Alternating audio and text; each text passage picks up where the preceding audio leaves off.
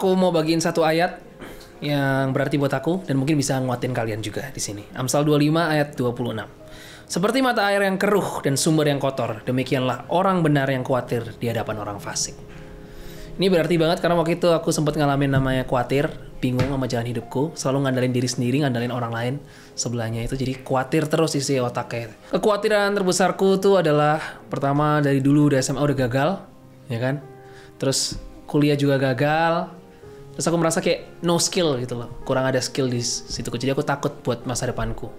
Aku ngerasa kayak aku nggak bisa apa-apa. Itu aku bisa nemuin ayat ini tuh waktu karena aku ngerasa kayak aku tiap malam susah tidur. Udah mencoba tidur terus dari jam 10 merem gitu tetap nggak bisa tidur sampai jam 2 otaknya muter terus. Terus akhirnya memutusin buat cari khotbah Kristen.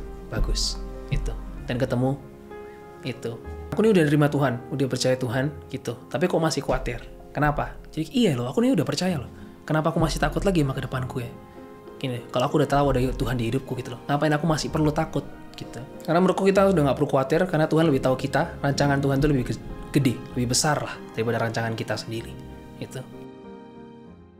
Oke buat kalian anak muda yang mungkin lagi khawatir, lagi bingung sama jalan hidupmu, ini salah satu lagu yang nguatin aku. Semoga bisa nguatin kalian juga.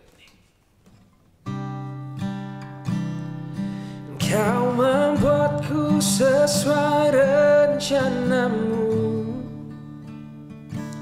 Kau memegang setiap musim hidupku.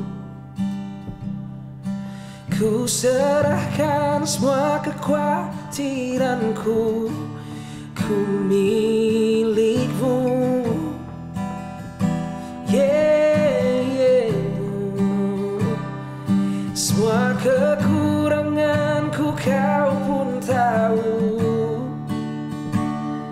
Dan tetap kau pandang indah dalammu.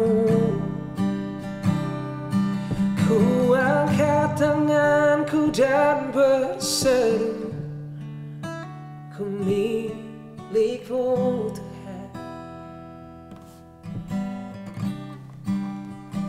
Oke buat kalian yang mungkin lagi ngerasa down, ngerasa bingung sama jalan hidupmu, terus kayak nggak ada yang mengerti kamu gitu, kamu bisa hubungi sahabat 24 yang mau berdoa buat kamu. Nomornya di bawah sini.